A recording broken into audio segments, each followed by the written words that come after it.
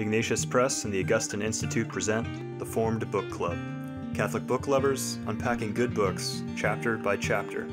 If you like us, please help us by subscribing and by reviewing us on Spotify, Apple Podcasts, or wherever you might listen.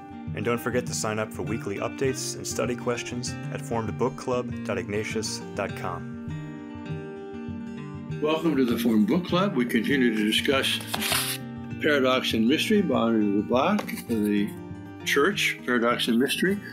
Uh, we have been, I won't say plodding along, because we've been trippingly, uh, interestingly moving along and discussing this book, but, but Lubac raises questions and makes statements which are which elicit reflection and even sometimes controversy. Friendly I controversy. Word, I, think, I think the word is ponderously. We've been progressing ponderously because we've been stopping to ponder every sentence. Oh, very good. All right. Well, we're on page 68, and we're getting to another very important topic here. Uh, by the middle of the page, he says, uh, Similarly, though none of the chapters is specifically devoted to the maternity of the church, the title of mother is several times attributed to her. We'll turn this into the chapter 7. All the same, we should remark here that this title was used with more consistency by the fathers and evoked more precise commentary. So, this is a, a subtle criticism, uh, but in a positive way, uh, because he who, Lubac, who really knew the whole tradition of the church, especially the High Middle Ages and prior to that, knew that the, the principal images of the church in the Middle Ages were mother and virgin. Those are the two. Uh, institution wasn't even used, sacrament wasn't used, uh, people of God was used, and, and other scriptural exam- example or images like house of God, vineyard of the Lord, and so on. But uh, he, what we'll see as she uh, proceeds here that the council did not neglect that idea of Mary, the church as a mother. In fact, the last chapter was on, on Mary as mother of the church. Uh, but again, background. I mentioned this book before called The Motherhood of the Church. Uh, we we gave it that title uh, because of its first part, but it's actually two separate, you know, texts here. I mentioned the second one already about the particular church, the universal church. That has to do with bishops' conferences and so on. It's more institutional. But the first part is mother of the church. And and uh, this is also by de Lubac. Excuse me, yes, sorry, by, by de Lubac. And uh, this was something which he wasn't alone in bringing back into prominence, but he certainly was a major factor in understanding and bringing back the traditional understanding the church as feminine. Because whether I think our society is obsessed by sex and gender more even than other societies have been. And at that very time, we're obsessed by it we've lost the sense uh, until the council, now it's becoming much more prominent, until the council of the church as feminine, the church as mother, the church as bride and virgin. Uh, and so we're going to see more reference to that as we go on. Uh, By the way, this is this is a shout out to another book we've just published, Sigrid Undset, Reader of Hearts by Father Aidan Nichols. I'm currently reading that because I'm going to be doing some publicity for uh-huh. that book. And I just read last night Sigrid Undset saying that those titles, Virgin, Mother, Bride, you know, applied to the church and applied to the Christian, are the greatest thing that ever happened to women in human history. Really? I'd like to see that. I had no idea that uh, Father Nichols had written a book on Sigrid Undset. That's something it, I need to check out. It's really good. Now, page 70, and interrupt me if you have something prior to this, but about 10 lines down, when it is speaking of holiness, though the fact that the church is a sanctifying mother is not forgotten, the exposition of the universal vocation of sanctity receives the fullest treatment. In short, it is a question less of the mother than of the children, of the inhabitants rather than of the house, of the assembly in Christ, congregatio, rather than the voice that summons, convocatio. So here he's explaining why the church as sanctifying mother is somewhat overshadowed by the church as the children of the mother who are sanctified. So this is all in the section on the people of God. Anything more on the people of God? Vivian, you got underlying things? You want to comment on things or? Well, the eschatological perspective, which is the next section, yes, is also there is something. There are some important things here. All right. Um, you know, this whole question of fact, look at this. I, I, I wow. Toward the end of this section, you know, this whole question: Is the kingdom here? Is it not yet here? Uh, and and um, and is it within history? Is history unfolding? You know, all these questions that have been brought to bear in in in in the 19th and 20th centuries about human progress and all these things that started to creep into Christianity. And so I found this section really fruitful reading.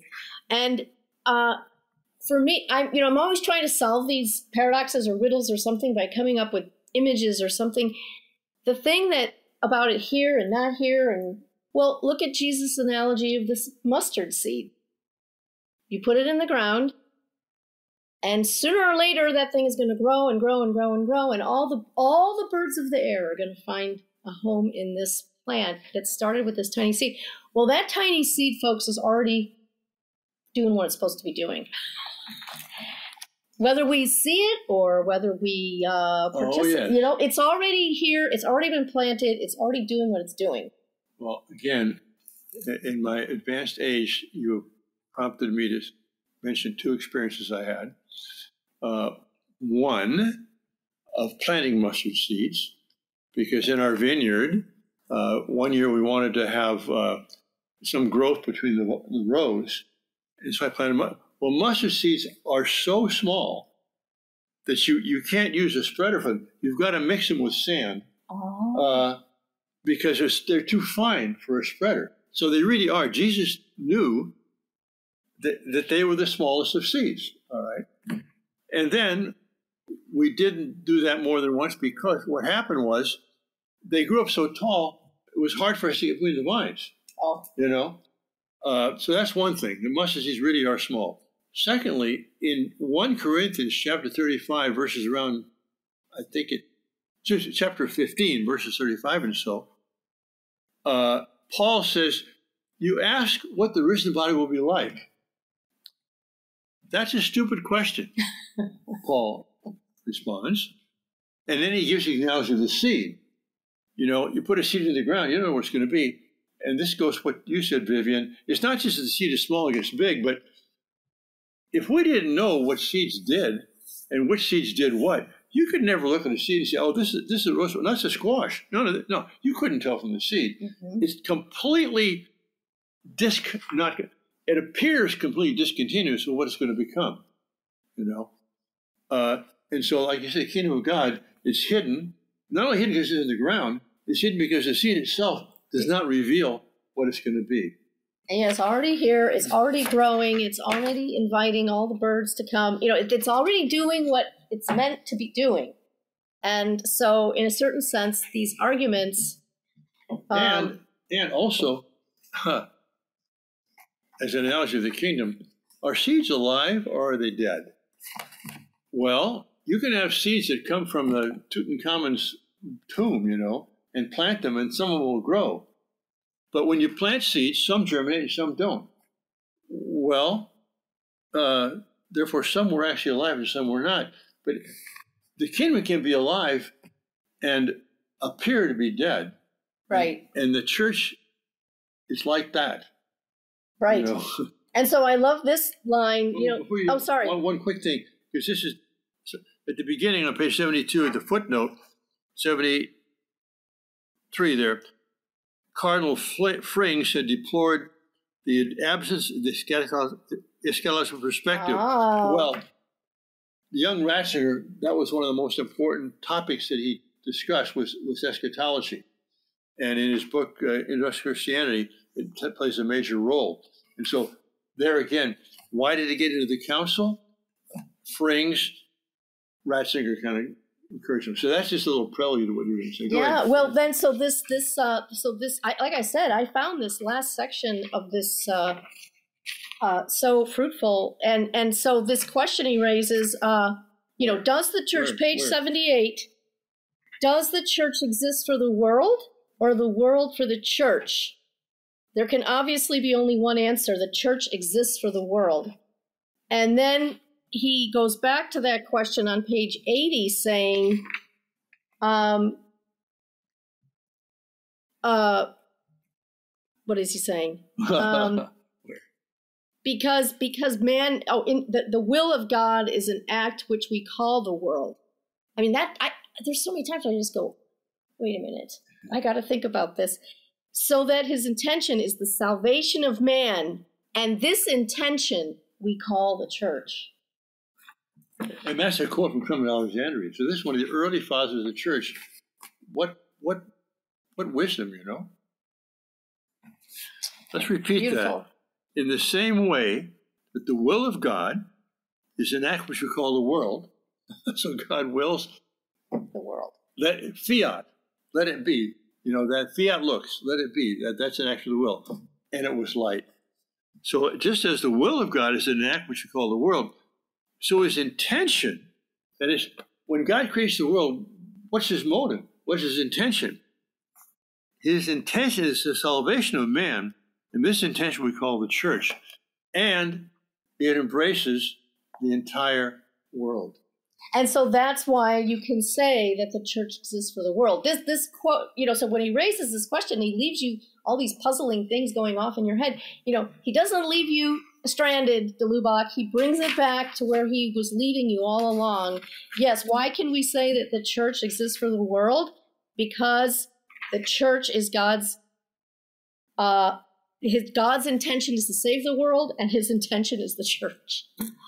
I, there's so much there to just reflect on and give us hope, by the way, okay? We should be people full of hope that this is God's intention.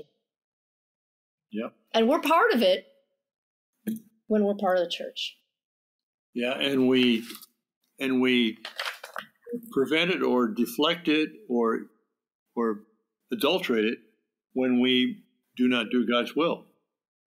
And if I can just uh, you know add add to, add to that nuance because I think the nuance is important here because you know he also then quotes uh, at the bottom of page seventy nine Abbe Monchanin.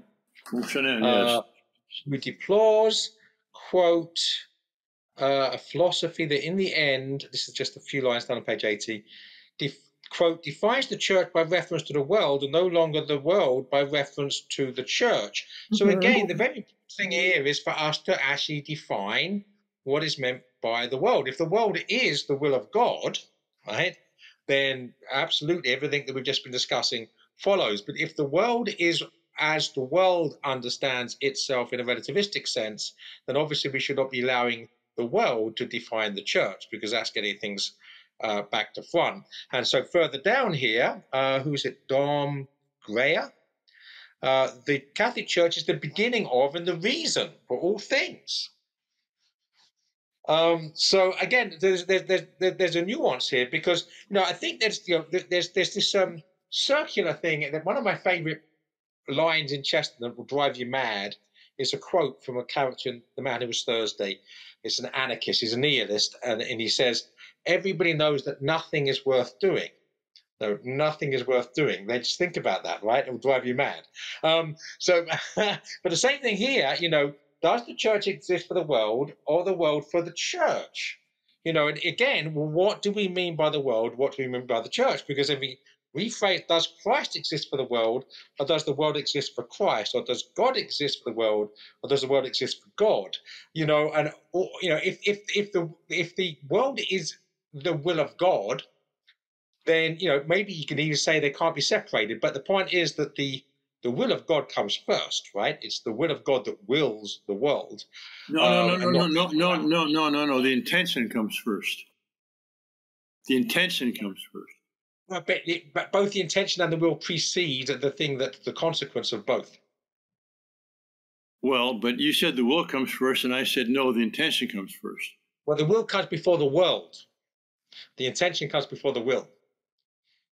Wait, say that again. If the world is something created by God, then obviously the God that the will the world comes after the will. The will comes after the intention. In other right. words, the, the, the, something's intended and willed, and then something is done. That's right. And therefore, the intention of God is that all things which He is about to create will find their unity together and in Him. That is the church. And then He creates the world in order that it may become the church. That's the, that's the finality of the world is the church.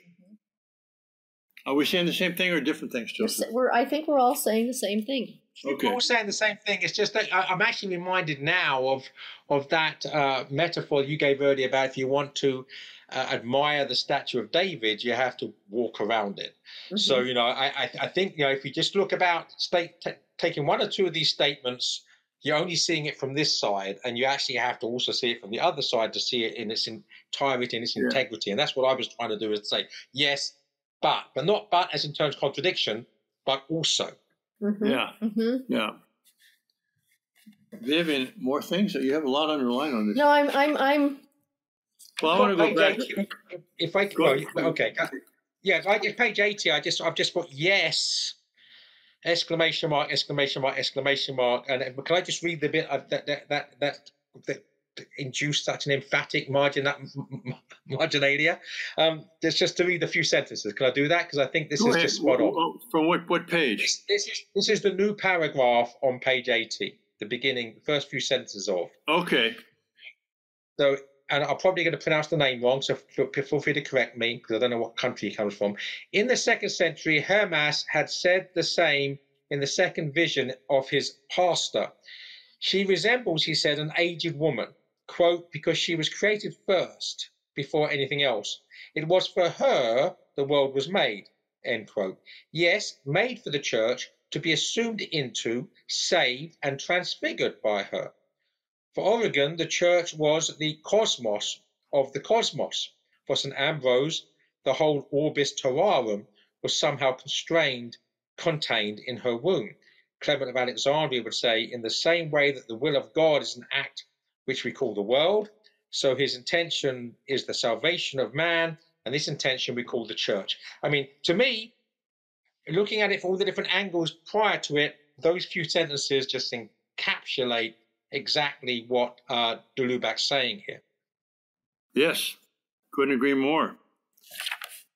I want to briefly mention something in page 76, paragraph at the bottom there. He says, We may well rejoice that in Lumen Gentium the traditional and patristic thinking has been thus officially revived.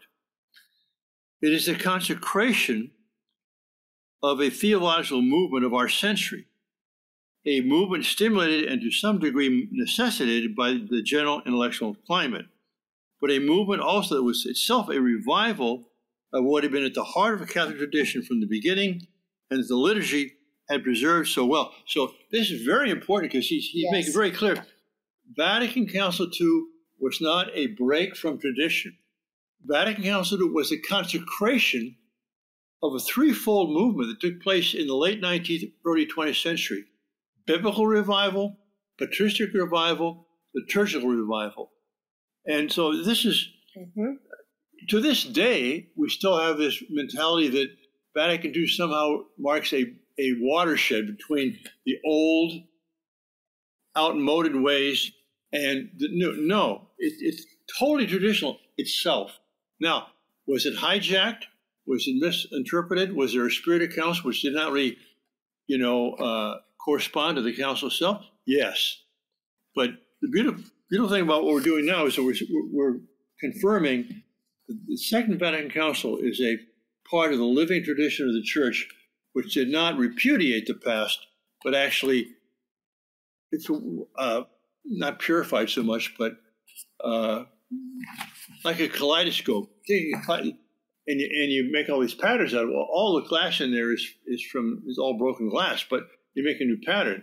So the council took all the tradition and put it in a new form.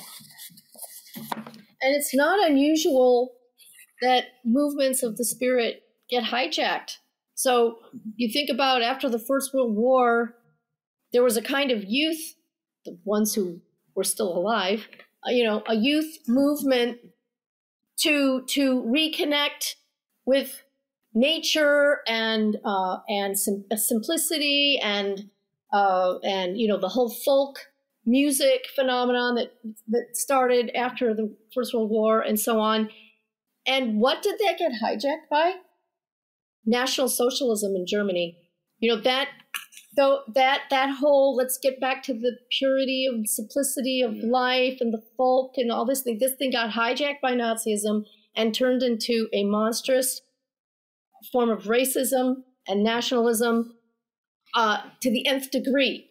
And yet, so much of that, that that that was there, that was springing up just organically and naturally, was a beautiful thing. And in response to this horrific world war and its devastation, uh, so it's not unusual, right, that there can be things bubbling up because of the Holy Spirit working among us, and it somehow gets hijacked, turned, twisted, a counterfeit of it uh, starts to take get momentum. There's, there's a wonderful line. There's a wonderful line in one of Tolkien's letters where he talks about um, that uh, ignoramus Adolf Hitler for for poisoning everything that was beautiful about the North. Right. Should we begin this section five, the Church of the Virgin Mary? Oh, we got five, five, ten minutes still, yeah. Yeah, sure. All right. Well, we're not going to finish because this is a pretty central theme for him. Uh, bottom of that first page of the section, page 81, he's talking about the fact that the council decided to have its statement about the Virgin Mary as part of the doctrine of the church and not separate. And that was originally in the, in the original uh, schemata uh, that were eventually changed. And then there was an attempt to, uh, you know, a proposal to separate church and Mary.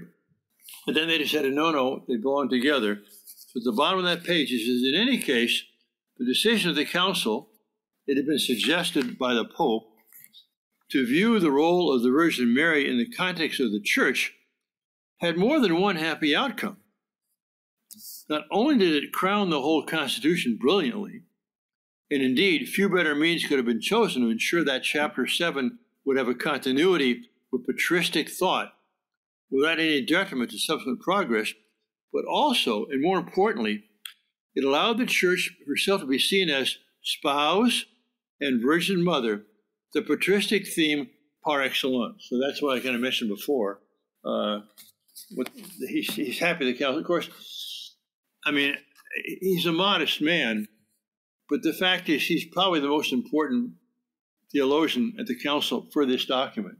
I mean, this this document, Lumen Gentium, has de Lubac written all over it, really. Onward.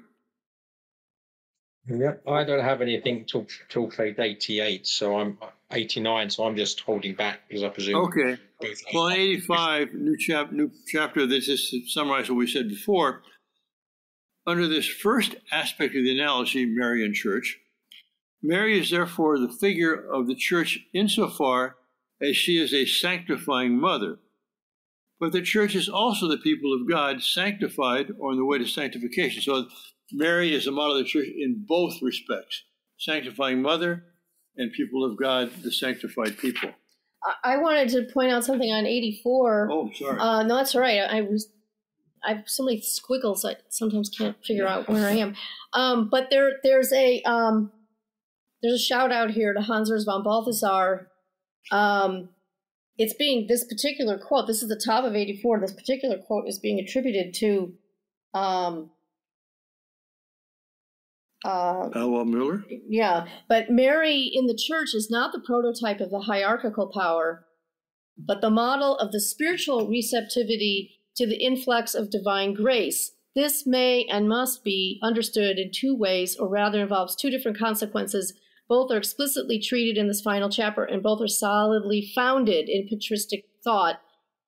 To begin with, the virginal motherhood of Mary, the fruit of this spiritual receptivity, is the prototype of the church's virginal motherhood with regard to Christians. In other words, she's the prototype of our receptivity to God as well as the church as a whole. And uh, this comes up again where he does, I think, attribute something to Hans von Balthasar because this was a big theme with him. Um, why did I do this? Page 91. Yeah, the top of 91. Hans von Balthasar is the one who often throws into relief what he calls the Marian dimension of the church. He is at pains to show the mysterious continuity between Mary's spiritual experiences in the body and the church's maternal experience. And so, again, you know, this very subtle, this is not a prototype for the hierarchical power. It's a, it's a prototype for every Christian and the entire church.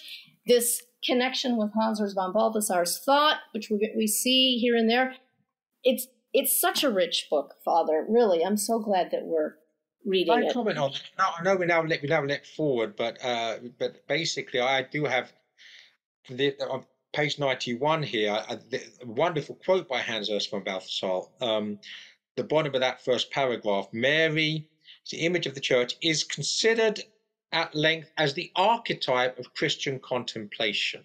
Yes. Uh, and then further down, in Mary, the faithful soul, the church, uh, said the perfect yes that is the origin and substance of all Christian contemplation. So her fiat, if you like, is, is the archetype of which all of our own little fiats are types. Right.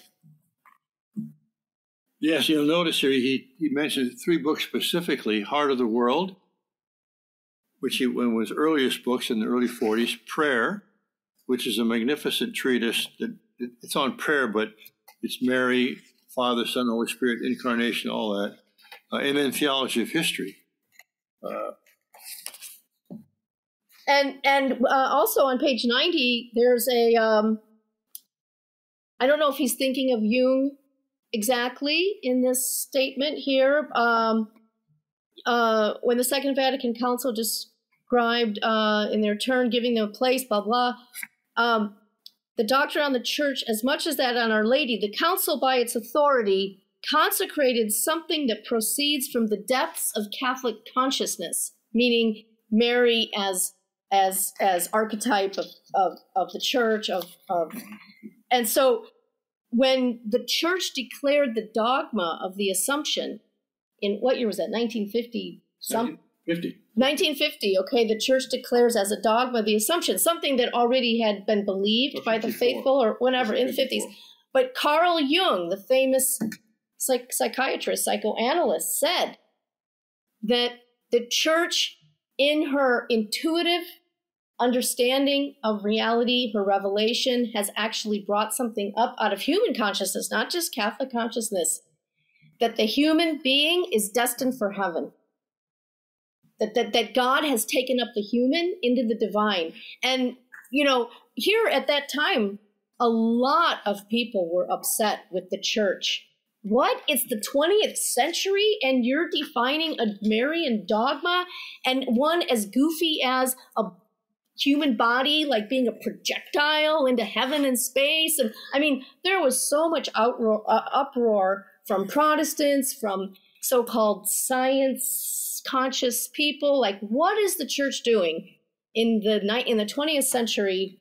Uh, defining his dogma that Mary was bodily assumed into heaven. And here you had Carl Jung, one of these rare voices outside the church, saying, I think this is an act of genius, spiritual genius. uh, Joseph, oh, anything you want to say before we conclude? Uh, no, I, I, I, have uh, well, I think we jumped your gun because you, you, you had things that were further back, and we sort of oh, leapfrogged over you. So, no, no, no, no. You, you had a footnote to what you said earlier was on page ninety-one, and then I jumped yes. on that because I, I highlighted that page myself, and so we sort yes. of left father behind, so to speak, inadvertently. So that's good. Well, let's let's start again next session Yes. with page ninety-one.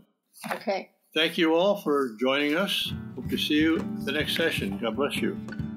If you enjoyed this discussion, please help spread the word about the Formed Book Club by subscribing to the podcast and writing a review. You can sign up for weekly updates at formedbookclub.ignatius.com.